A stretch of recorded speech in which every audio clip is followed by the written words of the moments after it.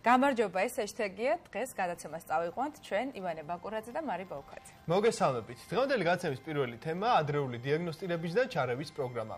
ბავშვებისთვის რატომ არის საჭირო, ვისთვის არის გაკუთვნილი, რატომ არის აუცილებელი და რას უწყობს ხელს. მეორე თემა კი გაფანტული სკლეროზი, რა ნიშნებით ხასიათდება, როდის არის შესაძლებელი დაავადების გამოვლენა, რა წარმოდგენები არსებობს დაავადების შესახებ და რა უნდა ვიცოდეთ ფოტოპროექტის წყალობით გაცოცხლებული წარმოსახვა.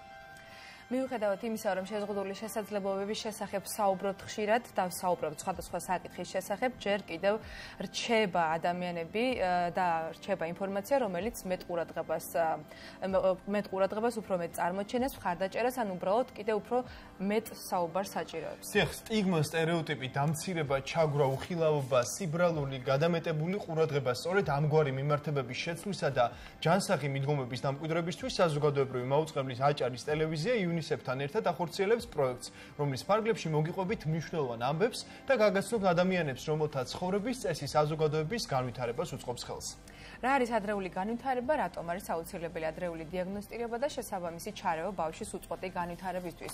ვის უნდა მიუმართოთ თუ დიაგნოსტირების შედეგად სხვადასხვა ტიპის სინდრომთან ან მიდგომებთან გვექნება საქმე. ამ და სხვა მომიჯნავე საკითხების შესახებ ჩვენ ჟურნალისტი მარიამ ტაკიძე გვესაუბრება. მარიამი ჩვენი სტუდიის სტუმარია, მას საინფორმაციო სიუჟეტიც აქვს მომზადებული, რომელსაც უნდა მოგვიანებით შემოგთავაზოთ, მანამ კი დავიწყოთ საუბარი ადრეული განვითარების და ინტერვენციის შესახებ. მარიამ, შეგიძლია შემოგვერთდე?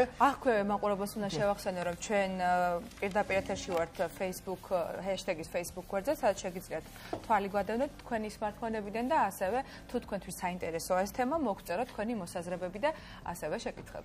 დავიწყოთ სამშვიდობის ამან პერიოდში. მოგესალმებით. მარიამ, დავიწყოთ თემა შევეჭიდეთ. ნამდვილად მნიშვნელოვანი თემა და საინტერესოა დავიწყოთ თვითონ ამ საკითხზე საუბარი, რას წარმოადგენს მარიამ ეს პროგრამა, ვისთვისაა განკუთვნილი და რა საჭიროებებს პასუხობს. თქვენ აღნიშნეთ უკვე ჩვენ ვისაუბრებთ დღეს ადრეული განვითარების პროგრამის შესახებ.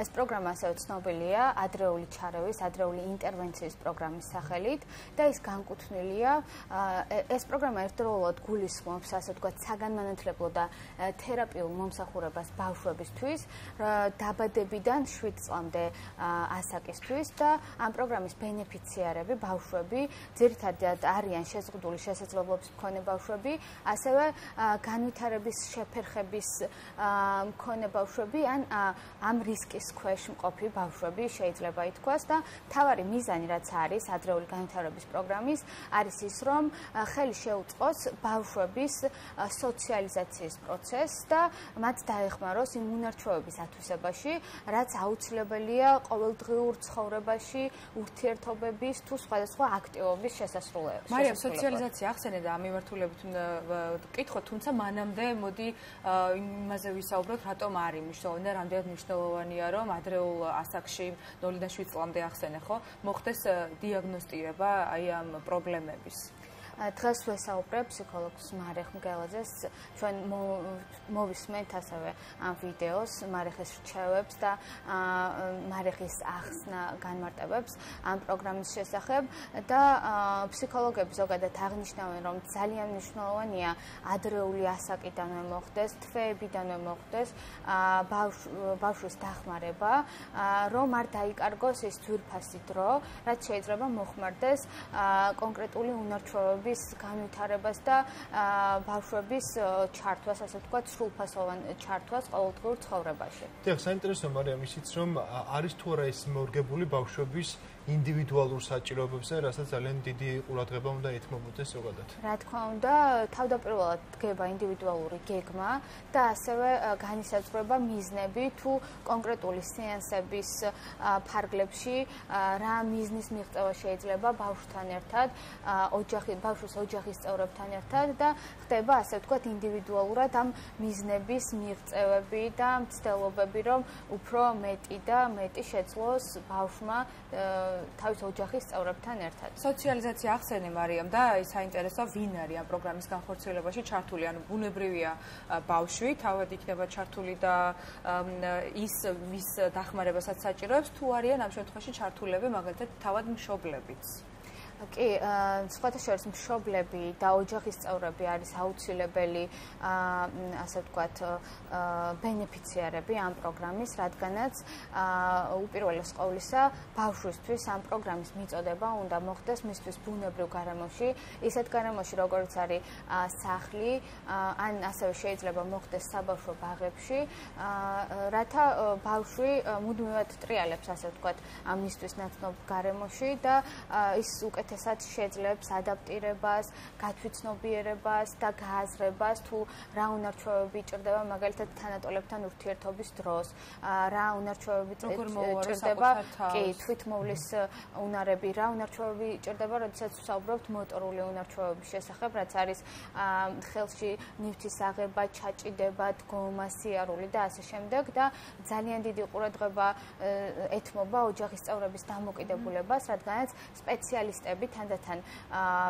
ოჯახის წევრებსაც utaraben ასე ვთქვათ გარკვეულ ტრენინგებს, რადგანაც ოჯახის წევრები გარდა ამ 8 სეანსისა, რაც წესით ეკუთვნით ბავშვებს, შემდგომში უკვე ოჯახის წევრებმა გააგრძელონ ყოველდღიურად ამ ბავშვებთან მუშაობა და ბავშვებში ამ უნარჩვევების განვითარება. თან ახლა ბუნებრივია ის, რასაც ბავშვს ასწავლი უნდა იცოდეს მშობელმა, ხო, ანუ ბავშვს ასწავლი როგორ მოიქცეს, როგორ გააკეთოს და აქვე დანიშნულოვანია რომ მშობელმა არის ძალიან კი პრომოტევადი და ძალიან ასე ვთქვათ ბევრ დროს ბევრ ენერგიას საჭიროებს და მნიშვნელოვანი რაც ბოდიშ შეგაწყვეტინე აი ის თქვაც მინდა რომ რაც შენ ძალიან კარგად ახსენე რომ ამ პროცესში მშობლები იმიტომ უნდა იყვნენ ყველაზე მეტად ჩართულები რომ რაღაც ბავშვის თქო იზოლაცია არ მოხდეს ან ისეთ ადგილს არ წავიდეს თამცინეწლოვანი ბავშვის რომ თქო გაუცხოება არ დაემართოს ან შიში რაღაც მომსახურების კუთხით და პირობითად მე კიდევ ერთი კითხვა მაინტერესებს. რამდენად ხელმისაწვდომია ეს პროგრამა იმ ადამიანებს ვისაც რეალურად აღნიშნული სერვისის სარგებლობის საჭიროება გააჩნია? ეს არის ასე ვთქვათ სახელმწიფო პროგრამა. ვაუჩერული სისტემით მიმდინარეობს ასე ვთქვათ მომსახურების მიწოდება ბავშვებისთვის და ამ ბავშვების ოჯახებისთვის და თუ კი ან დაინტერესებული პირი მიმართავს თუნდაც ოჯახის ექიმს, პედიატრს, ნევროლოგს, ის შეძლებს დააკვალიანოს თუ როგორ შეიძლება მოხდეს და ჩაერთოს ამ პროგრამაში და დაეხმაროს როგორც თავის შვილს, ასევე თვითონაც შეიძინოს საჭირო უნარჩვევები. როგორც მიხდი, ნებაყოფლობითია, თუმცა აი ამ ვაუჩერების რაოდენობა თუ არის განსაზღვრული, თუ გაქვს ინფორმაცია. ანუ ხო არ არის შეზღუდული?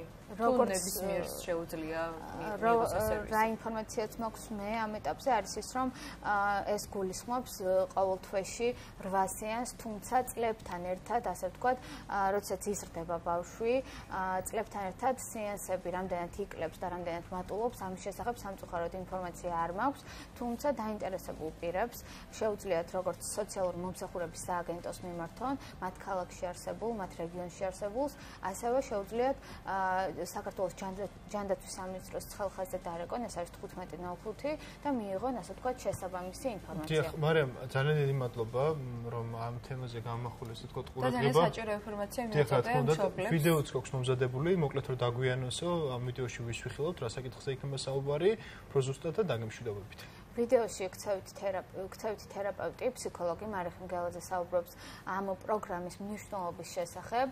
ეს არის ინფორმაციული ვიდეო და ძალიან საჭირო მე ვფიქრობ და აქვე დავამატებ, რომ ეს პროგრამა, როგორც უკვე აღნიშნე, არის ბავშვებისთვის გათვლილი დაბადებიდან 7 წლამდე და ძალიან მნიშვნელოვანი პროგრამაა, რადგანაც ხელს უწყობს ბავშვების ჩართვას, ასე ასე ვთქვათ, საგანმანათლებლო სივრცეებში და ერთგვარად მომზადებასაც კი უწყობს უწყობს ხელს რომ ბავშვები ჩაერთონ შემდგომში უკვე სკოლებში, ბაღებში და შეძლონ მათ თანატოლებთან ურთიერთობა რაღაც დიდი ბარიერების და სირთულეების გარშემო. მარიან, ძალიან ძალიან დიდი მადლობა, რომ ესეთი ძალიან მნიშვნელოვანი ინფორმაცია გააცანი მშობლებს. ჩვენ უნდა დაგემშვიდობოთ ჩვენ და ნახოთ ვიდეო, სადაც მარიხ მგელაძე, ფსიქოლოგი, საუბრობს იმ საჭიროებებზე, რაც აქვთ 0-7 წლამდე ასაკის ბავშვებს და რა სერვისებს თავაზობს სახელმწიფო ამ შემთხვევაში.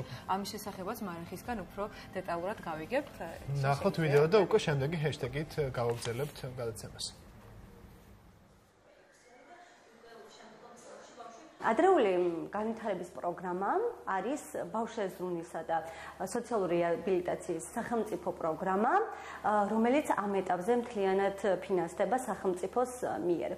ანუ პროგრამის ძირითადი მიზანი არის ბავშვების სოციალიზაციის ხელშეწყობა, განვითარების სტიმულირება და ასევე მშობლების გაძლიერება, ინფორმირებულობის ამაღლება, ცნობიერების გაზრდა და ასე შემდეგ.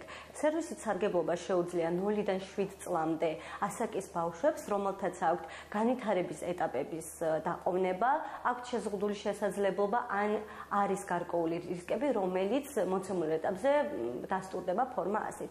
ამ მის საფუძველზე უკვე შემდეგ ხდება სხვადასხვა საბუთების დოკუმენტაციის მობილიზება და შემდეგ უკვე ბავშვი ჩაერთვება ადრეული განვითარების პროგრამაში. ეხ ანდრე, აბა მომიწებნე? ოჩა პროგრამის სპეციფიკა და განმახორციელებელი პირი ძირითადად არის ადრეული განვითარების სპეციალისტი და უკვე შემდეგ ბავშვის საჭიროების შესაბამისად შეიძლება მომსახურებაში ჩაერთოს სხვა სპეციალისტი, იქნება ეს ოკუპაციური თერაპევტი, მეტყველების თერაპევტი თუ სხვა. კიდევ ვიმეორებ ეს ხდება უშუალოდ იმ საჭიროების გათვალისწინებით და გააზრებით, რაც კონკრეტულ ბავშვს აქვს. მომსახურების სპეციფიკა არის ის, რომ ძირითადად სერვისის მიწოდება ხდება ბავშვის ბუნებრივ გარემოში და ეს არის მე ვიტყოდი თვითონ ამ პროგრამის ამოსავალი მხარე.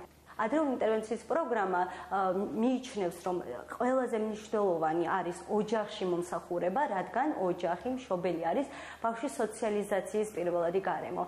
ამიტომ აუცილებელია მშობელი იყოს აღჭურვილი იმ უნარჩვევებით, რაც შესაბამისად შემდგომში ხელს შეუწყობს ბავშვის განვითარებას. ანუ რეალურად ადრეული ინტერვენციის პროგრამა ფიქრობს, რომ მშობელი უნდა იქცეს რესურსად ბავშვის განვითარებისთვის. ამიტომაც ის 8 სესია, რომელიც პროგრამის ფარგლებში თვის განმავლობაში მიეწოდება ბავშვს, გულისხმობს მშობლის ჩართვას პროცესში, მშობელი ხედავს, როგორ მუშაობს სპეციალისტი, მშობელი ჩართულია პროცესის განხორციელებაში და დეტალურად მიეწოდება ის გეგმა, რომელიც მოცემულ ეტაპზე შეირჩევა ბავშვის განვითარებისთვის. მოწებნოთ პატარა ჟირაფი. სესიების განმავლობაში ზოგადად ხდება განვითარების სტიმულირება, განვითარებაში გულისხმობთ ისეთ ძირითად სფეროებზე მუშაობას, როგორიცაა შემეცნებითი სფერო, კომუნიკაციის უნარები, მეტყველება, მოტორული განვითარება, თვითმოვლის უნარჩვევები, თუმცა პრიორიტეტები განვითარების გეგმაში შეირჩევა უშუალოდ იმ მოცემულობით, რაც კონკრეტულ ბავშვთან გვაქვს. ბუნებრივია ეს ყველაფერი თავიდანვე მიეწოდება მშობელს და ის აქტიურადაა ჩართული მის განხორციელებაში. ანდრე, ეხა პატარა, ნო, აქ ყოფილა ამას რა ქვია ანდრე? არსებობს მთელი რიგი სინდრომი, მდგომარეობები, რომლებიც უკვე დიაგნოსტირებულია დაბადების მდგომარეობისთვის და შესაბამისად ადრეული ჩარევა ხორციელდება თავიდანვე. მაგრამ არსებობს მდგომარეობები, როდესაც ნიშნები უკვე შემდგომლინდება, ის იქნება აუტიზმის სპექტრის აშლილობა თუ სხვა. აი სწორედ ამ გვარ შემთხვევაში მშობელს ჭირდება განსაკუთრებული ყურადღება, იმიტომ რომ ის ძალიან დიდი ყურადღებით უნდა მოეკიდოს ამ ნიშნებს, რათა შემდეგ მიმართოს კონკრეტული კონკრეტულ ინსტიტუციას, იქნება ეს ექიმი, ნევროლოგი თუ სხვა, იმისთვის რომ შემდგომ მოხდეს რეფერირება და ბავშვმა დროულად მიიღოს ადრეული განვითარების პროგრამის მომსახურება. დედა და თვი. ხო, ჩადე დედა და თბილობა და ადრეული ბავშვობა არის ყველაზე მნიშვნელოვანი ეტაპი ბავშვის განვითარებაში.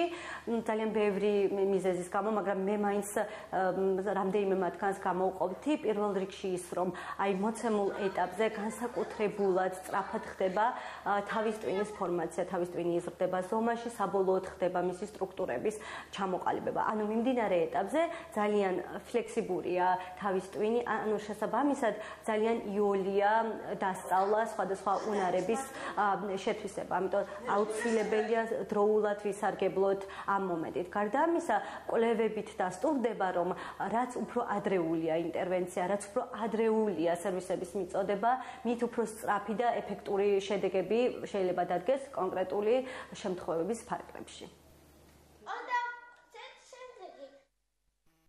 ჩვენ ნახეთ ვიდეო, სადაც იყო არაერთი საჭირო რჩევა და ეს ვიდეო განთავსდება ჩვენს Facebook გვერდზე, სადაც შეგიძლიათ კიდევ ერთხელ ნახოთ და გაიგოთ იმ სერვისის შესახებ, რომელიც გულისხმობს კონკრეტული ასაკისთვის ბავშვების მხარდაჭერას, მათ განვითარებაში ძალიან დიდი როლის შეტანას. ახლა კიდროა ჩვენ შემდეგ ჰეშტეგზე გადავიდეთ. გადავიდეთ ბათუმი ფოტოპროექტს სახელწოდებით ცხოვრება გაფანტულ სკლეროსთან ერთად. მას პინძლობს ფოტოგრაფმა გოგა ჩანადილმა აღნიშნული დაავადების მქონე ადამიანთან ადამიანთან მდგომარეობა და წარმოსახვა ფოტოებად აღბეჭდა. საქართველოში არაოფიციალური სტატისტიკით 1100 ადამიანია გაფანტული სკლეროზის ნიშნებით. შესაძლოა ერთი შეხედვით დაავადება გულმავიწყობასთან ან რაიმე მსგავს გონება გაფანტულობასთან ასოცირდება, თუმცა ვითარება სრულიად სხვაგვარია. გაფანტული სკლეროზი პირველ რიგში ნერვულ და საყრდენ მამოძრავებელ სისტემას, ასევე ადამიანის ნეიროგავითარებას უკავშირდება, უფრო სწორად კი ფუნქციურ დარღვევებს, მწირი ინფორმაციისა და ცდარი წარმოდგენების გამო გაფანტული სკლეროზის მქონე ადამიანები ხშირად არიან არასასურველი დასაქმებულის ნაცნობის ან სხვა პირის როლში. მსოფლიოში გაფანტული სკლეროზის დღედ 30 მაისია მიჩნეული.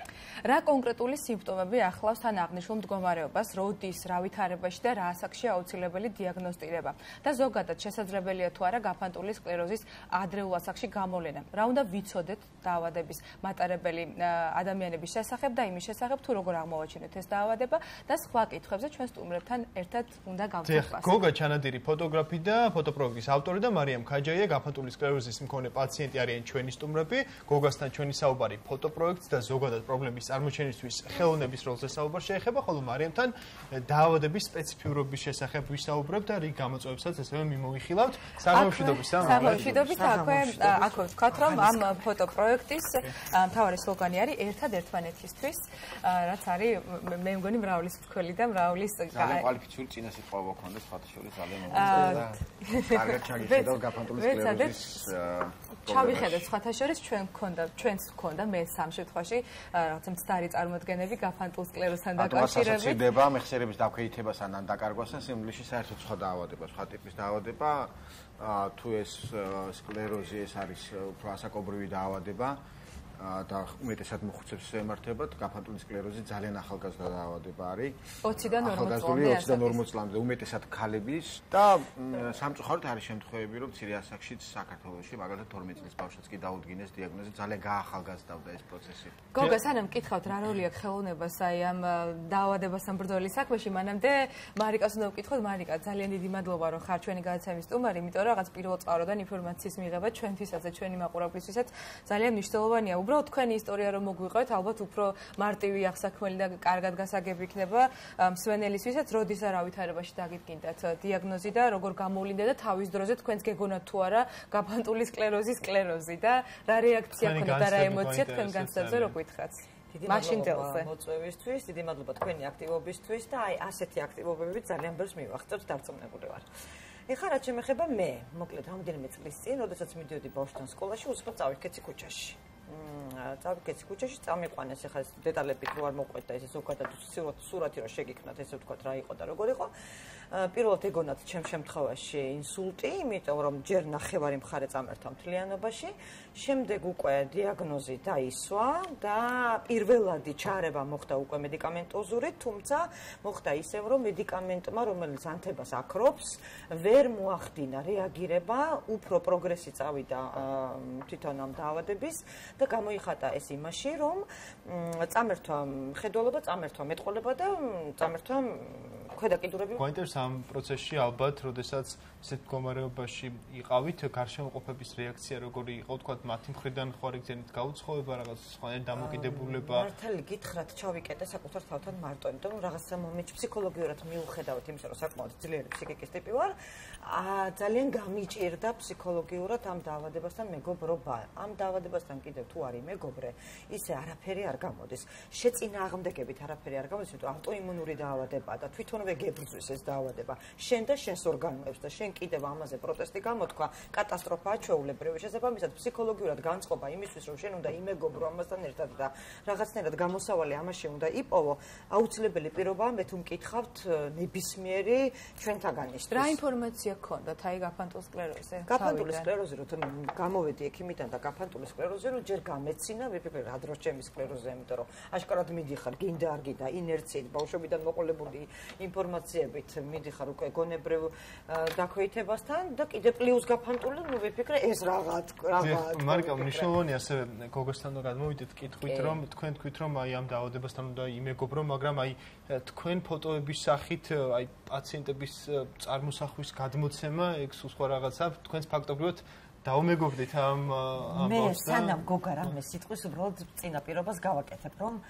გოგა დღეები, საათები, რა ვიცი, რამდენი რა პერიოდი არ ვიცი, იჯდა თითოეულ პაციენტთან და თითოეული პაციენტის შეგრძნებებს სწავლობდა. ანუ თქვენს აღიქვით ეს ყველაფერი? აი ეს როგორც ხელოვანისთვის როგორი იყო რაღაცების ჩვენთვის დანახება. შეიძლება შეუძლებელია პროექტ შეეჭიდო და არ გაეცნო თემას, პრობლემას. მე შეხვდი პაციენტებს, ვისაუბრე მათ შორის მარიკასაც, მოვიძიე მასალები სხვადასხვა წყაროებში დავიწყე თუ შეიძლება ასე ითქვას ქექვა. და მივხვდი რომ ეს არის ძალიან ვერაგი და ძალიან მძიმე დაავადება თუმცა მისი მართვა შეიძლება. და ასევე ეს არ არის განაჩენი კიდე სულ ამას ვამბობ მე. ამიტომ პაციენტები უპირველესად უნდა ფსიქოლოგიურად ყარად. და საზოგადოების როლი ამაში ძალიან მნიშვნელოვანია და სახელმწიფოს იმიტომ რომ უკაცრავად თავი პრობლემა რასაც მე წავაწყდა ფოტო პროექტის მუშაობაში იყო ის რომ აღმოაჩინე რომ სახელმწიფო არ ეხმარება ამ პაციენტებს რა ძალიან მნიშვნელოვანია. კი, რა ძალიან მნიშვნელოვანია. ამისათვის რომ ეს პრობლემები ორმაგი პრობლემა გქონდა ჩვენ ის რომ არ იყოს სახელმწიფოს ხარდაჭერა და სხვათა შორის მინდა აღნიშნო რომ აჭარაში მეტნაკლებად მოგვარდა ძალიან კარგი ჯანდაცვის კარგი ministri ყავთ ბატონი ზალ მიქელაძე რომელმაც რომელიც მიხვდა გაიას რა რა იყო ეს პრობლემა და დაიწყო აჭარაში გაფანტული სკლეროზის პაციენტთა მკურნალობა მე ვფიქრობ რომ ეს აი უნდა მოედოს თელ საქართველოს, იმიტომ რომ როგორც თქვენ აღნიშნეთ 1000-ს დაახლოებით 2000-მდე ადამიანია ზუსტ სტატისტიკა არ არსებობს, სადაც ოფიციალური. ხო, და თან სტიგმა აფერხებდა ასე ვთქვათ ამ ადამიანების გოგა ეხლა მაყურებელი ხედავს ეკრანზე იმ ნამუშევრებს რომელიც ეს არის საქანელა პაციენტი გრძნობს. ხო, რომ აი თითოეულზე რომ მოგვიყვეთ, თქვენ გადმოიტანეთ მათი ემოციები და განცდები ფოტოები. პაციენტი გრძნობს რომ აი თითქოს მიექანება, თქო ეს საქანელასაც რაღაცა თვალებიდან მოდის და მიექანება და გამოექანება. აი ეს არის ასაწყობი წარმოსკოში კი რომელიც იშლება და წაწყდება და დაახლოებით ამდაგვარი სიმპტომია, როდესაც სიტყვები, წინადადებები იშლება სიტყვება და ეს სიტყვები ასოება და ეს და გარბიან ეს ასოები, ეს დიზაინერმა მაშკა წულეისკირმა გააკეთა და ჩვენი მიზანი არ იყო რომ სახეები გადაგვიღო, ჩვენი მიზანი იყო რომ ეს სახეზე აგვეფარებინა და აი გვეთქო რომ აი ადამიანები თავის ტვინ თავის ტვინის პრობლემაა ეს ხათი შორის და ზურგის ტვინის ადამიანები და თავია ტვინიდან, თვალიდან განიცდიან აი ამ პრობლემას. გოგა, რა პრობლემა შეიძლება სადი გონი ისეთი ყველაზე გავრცელებული პრობლემა ხო გოგა, იმიტომ რომ ძირთადად პაციენტები გრძნობენ სიმძიმეს კიდურებში. თვითონ რაღაცა ეკაჩება, თვითონ ბორკილებია და ეს უზარმაზარ მორებს მიათრევენ. აი ეს არის ჭარბი შუქი, როდესაც თვითონ ეფექტდება რაღაცა ამ პატარა შუქი მოდის და ასე ვთქვათ შენს თვალებში აი სადღაც ეფექტება ნაპერწკლებად იყრება. ძალიან პირობებს შემუშავთ აი მაგათი და რამდენიმე ლოკაცია ალბათ სადაც საერთაშორის უნდა თქვა რომ ეს იყო ხანძლივი მოსამზადებელი პერიოდი. და ახლა სამი კვირა მაინც დამჭირდა ფოტო პროექტისთვის მაგრამ დაახლოებით ალბათ 20 წუთში გადაღებული პროექტია. იმიტომ რომ როც თემა უკვე შეის თავარი პროცესი იყო განმეცადა ის ტკივილი და შეგრძნებები რაც გაფართოებული სკლეროზის მქონე ადამიანებს აქვს. და დაახლოებით 8-10 სიმპტომი გადმოვეცით და ძალიან მნიშვნელოვანია დაავადების დადგენამდელი სიმპტომები და დადგენის შემდგომი სიმპტომები აა სხვანაირად იწება დაავადება და სხვანაირად გრძელდება მით რომ შემთხვევაში ძალიან ძიმე. კი, მით იმ შემთხვევაში თუ არ არის სათანადო შესაფერისი მკურნალობა, ამისათვის არის აუცილებელი სახელმწიფოს ხარდაჭერა. შეიძლება აზროვნოს ადამიანი, მაგრამ ხდება უმოძრავ და იმისაც ამ მდგომარეობამდე არ მივიყვანო, სადაც 20-30000 ლარი ჯდება წელიწადში ამ პაციენტების მკურნალობა, რატო უნდა გავწიროთ, ხო? ესე უხეში გათვლებით თვეში დაახლოებით 1000 ლარამდე არის საჭირო იმ წამლებისთვის რაც აუცილებელია არის.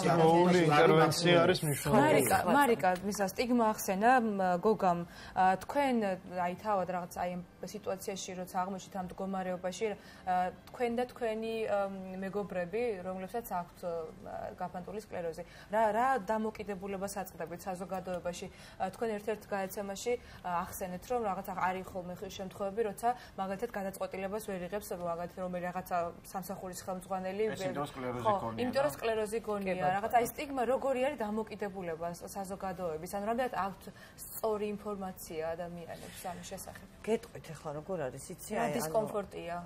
გეტყვით, ანუ იმიტომ რომ ცნობადობა არ იყო და საერთოდ არ იცოდა ჩემ მე თვითონაც რომ დამემართ არ ვიცოდი რა მჭირდა, შესაბამისად სხვებს ხა ბევრს ყოველას ვერ მოთხოვ ყველა დავედება რომ იცოდეს ხო, მე გაფანტული და ამ დროს მე გავიგო საერთოდ სულ სხვა რაღაცაზე ალაპარაკი და ქრონიკულ ნევროლოგიურ დაავადებაზეა საუბარი და არა რაღაცა მეხსიერებასთან პრობლემაზე. ამიტომ მე რო გამიკვირდა შესაძლოა მით უმეტესად რა სამედიცინო სფეროში ცოტა რაღაცა გამეკება, უკვე აღარ მიკვირს რომ სხვამ არ იცის. სწორედ ეს არის ჩვენი მიზანი, პირველი, ერთ-ერთი მიზანი და პირველი მიზანი რომ ცნობადობა გავზარდოთ იმისათვის რომ ვიღაცა სამსახურში ჩვენ ერთთან ერთი ერთ-ერთი პაციენტი მაგალითად სამსახურიდან გამოუშვეს ამის გამო. ყველა უნდა იცოდეს იმიტომ რომ სკლეროზი ეგონათ. ყველა უნდა იცოდეს რომ ეს გონების შეზღუდულობასთან არანაირ კავშირში არ არის აბსოლუტურად და ნუ სხვა ზოგ სხვა პრობლემა აქვს ჩემს ირგვლივ ძალიან ბევრი ადამიანია მალავს იმიტომ რომ სახელია თვითონ ძალიან ცუდი. დიახ, ბუნებრივია, ამიტომაც არის თქვა დღეს ვსაუბრობთ აქ გადაცემაში მაუწყო საზოგადოებრივ მაუწყებელში რომ მნიშვნელოვანია რომ ბევრ ადამიანამდე მივიტანოთ რომ შემდეგ საზოგადოება არ იყოს რაღაც სტიგმის მსხვერპლი. ერთი ერთი კითხვაც აუცილებლად უნდა დაგისვათ აი რაც მნიშვნელოვანია კურნალობის საკითხში. შე შემთხვევაში არის საქართველოსში კი საქართველოს თავაზობს საქართველოს ასებული კლინიკები სპეციალისტები თავაზობენ ისეთ მომსახურებას რომ პირობითად შესაძლოა დიახ გამოკვლევა მოხდეს ძალიან კარგი და არ მოგიხდეთ სხვა ქვეყანაში წასვლა. ძალიან ადვილია უკვე დღეს დიაგნოსტიკა ტომოგრაფიის მეშვეობით ფუნქციის მეშვეობით ფუნქციას იღებენ და აგერ ბათუმში არის ამ ორგანიზაციის ფარგლებში ჩამოვიდა ექიმი მარინა ჯანელიძე ერთ-ერთი საუკეთესო ექიმი. და ამის საშუალებები არსებობს მაგრამ არ არსებობს მედიკამენტების ასე ვთქვათ მედიკამენტებიც კი არსებობს რომელიც აფერხებს პროგრესირებას, განვითარებას ამ დაავადების, მაგრამ არ არსებობს შესაბამისი ფინანსები, რომელიც მარიკას მაგალითად დიდი სირთულე, აი როცა დახმარებას, კი ბატონო, მარი, პირველადი დახმარებას კი როცა შენ უკვე დიაგნოზი გაქვს და უცბად ანთების ჩასაქრობად რაღაცა გადასხმა გჭირდება და უშუალოდ და უნდა დაწვე რამოდენიმე ახალი კერა რო არ წარმოიქმნას. ახალი კერა რო არ წარმოიქმნას და ის ანთებითი პროცესი ჩააქროს, ისიც კი ძალიან ძვირი ჭდება. არც ისეთი იული მომენტია, ასე ესე უცბად ვერ შვები, არ ფინანსდება ესე. აი ქვეყნის დატოვება ვთქვათ მოუხდა ვინმე იმისთვის რომ აი სერვისი მიიღო. დღეს მეუბნებოდა მარიკა ზუსტად მაგაზე. თუ ესე გაგრძელდა, იმიტომ რომ წელიწად ნახევარი ადამიანი ვერ დაუფინანსებია. თავის ჯასაკუთარი ჯანმრთელობა წარმოიდგინეთ და რატომ მიდიან საფრანგეთში ქართველები და რატო ჩამოვიდა ამასაც საფრანგეთში შედაგა საქმეთა მინისტრი და შეხვდა ჩვენს მინისტრს, იმიტომ რომ ძალიან გაიზარდა არალეგალური მიგრაცია საფრანგეთში, იმიტომ რომ ის აფინანსებს ჯანდაცვის პროგრამებს და შესაბამისად ქართველები თითქოს ტურისტულად ჩადიან, მაგრამ რჩებიან იქ იმისათვის რომ მიიღონ უფასო და კარგი ხარისხიანი ასე ვთქვათ კურნალობა ჯანდაცვა. მოგეთ ჩვენ რაოდენობა დავასახელეთ 1100 ადამიანი არ არის ძალიან ბევრი. ამიტომ არის 2 მილიონი წელიწადში სახელმწიფო. კი, ჯანდაცვის სისტემაში ძალიან ბევრი პროგრამა დაემატა, თუმცა რა რატომღაც რაღაც ეს გაფანტული სკლეროზი ვერ მოხდა. მაშინ რომ იმ პირობებში როდესაც ჩახშენ ბიუჯეტი უკან დააბრუნდეს და კი ბატონო, ანუ რატომ ორივესთან მექნება ეს ეს კითხვა? რატომ ვერ ხერხდება ამ დაავადების მოხვედრა რაღაცა დაფინანსების ნაწილში ვერ იაზრებს თავად სახელმწიფო. კიდე ჩემი გულწრფელი აზრი გქრა. ანუ სახელმწიფოს არ აქვს გააზრებული სიმძიმე ამ დაავადების და შედეგები ამ დაავადების, მძიმე შედეგები თუ უბრალოდ რაღაც ყურადღების მიღმა დარჩათ ეს ყველაფერი. ჩემ გულწრფელ აზრს გეტყვით რა. ადამიანებმა ჩათვალეს ეს არის სკლეროზი. რომელიც ასაკობრივია გარდაუვალი მომენტია და მაინც ამას არ შეიძლება შეიძლება. თუმცა ჯანდაცვის სამინისტროზე ლაპარაკობთ პროფესიონალები მუშაობენ სკლეროზი და გაფანტული სკლეროზი განსხვავდება მე ეს მეც ვიფიქრე ეს მეც ვიფიქრე მაგრამ ასევე ბევრ არ კომპეტენტურს კომპეტენტურსაც ავაწყდი და უგულოსაც თუ შეიძლება ასე ითქვას. ესე იგი, არა მარტო ეს ხო მარტო ჯანდაცვის სამინისტრო არის სამ გადაწყვეტილებას ხო, პარლამენტში წიღებენ. თქვენ გონიათ პარლამენტში ყველა მიცის მედიცინა? ეს მეც არ ვიცოდი პრინციპში, მე ჩავიხედე უბრალოდ. ჩათვალის ეს არის გარდაუვალი საკითხი, გარდაუვალი პრობლემა ადამიანისთვის, გამიმით რო ასაკობრივი და ჩათვალის ამის ამის კურნალობით ყველა ფულის ხარჯვა არის. ენდეში პრობლემასაც ჩათვდებიან და თან ამან ეს არცნობს ადამიანებს. შეიძლება რომელიმე მათგანი შვილს დაემართოს, გესმით? მით უფრო ზუსტად იმ ასაკში ემართებათ განსაკუთრებით ქალებს ეს დაავადება, როდესაც მათი რეპროდუქციული პერიოდი ოთხი და შვილოსნობის პრობლემა შეიძლება დადგეს. თუმცა მაგალითად სხვათა შორის დღევანდელი მედიცინა ამ პრობლემის მქონე ადამიანებს არ უკცალავს თქვათ ფერმძიმობას და ამჯობინებს რომ კურნალობამდე აფერმძიმდნენ იმ შემთხვევაში რომ რადგანაც ეს წამლები არ მოხდეს ნაყოფზე ზემოქმედი პრობლემა. მაგრამ თქვენი აზრით ვითხარით. ანუ თქვენ გექნებოდათ შეხება დარწმუნებული ვარ ძალიან დიდი წერილი. და მოითხოვდით ალბათ კიდეც დაფინანსებას ანუ რა ხდება ამ შემთხვევაში რა პასუხი აქვს სახელმწიფოს? რატო ვერ ხერხდება ამ დაავადების დაფინანსება? ხო გახსენებთ მე დავწერე ძალიან დიდი წერილი. პირველად ჩარევაც ჩემ შემთხვევაში არ იყო. არც მაგიტორეზონანსია იაფი არც ეს გადასხმა იაფი. ერთი დღე კლინიკაში არ არის იაფი შემდეგ კიდე ბევრი ეს ფუნქცია ახსენა გოგამ და კიდე ბევრი კვლევა იყო საჭირო რომ ზუსტი დიაგნოზი დამდგარიყო ხო არ იყო იაფი. მომიწია რაღაცების გაკიდვა ესე ვთქვა ხო? დავწერე ეს ქვითრები ყველაფერი დაურთე და დავწერე განცხადება მით უმეტეს მარტო ხელა დედა ვარ პასუხიც არ მომსულია.